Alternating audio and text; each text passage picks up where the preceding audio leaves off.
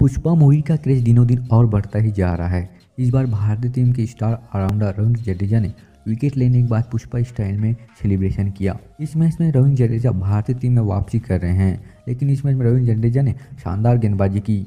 और जैसे ही रविंद्र जडेजा ने दिनेश चांदीमल का विकेट लिया, इस विकेट का सेलिब्रेशन रविंद्र जडेजा ने पुष्पा स्टाइल में किया। जिसके बाद रविंद्र जडेजा की इस पुष्पा स्टाइल को देखकर भारतीय खिलाड़ी और रोहित शर्मा भी खुश हो गए। वैसे दोस्तों रविंद्र जडेजा के पुष्पा स्टाइल वाला सेलिब्रेशन सोशल मीडिया में जमकर वायरल हो रहा है। दोस्तों, यदि आपको रविंद्र जडेजा की पुष्पा स्टाइल अच्छी लगी तो वीडियो को लाइक और चैनल को सब्सक्राइब ज़रूर कीजिएगा।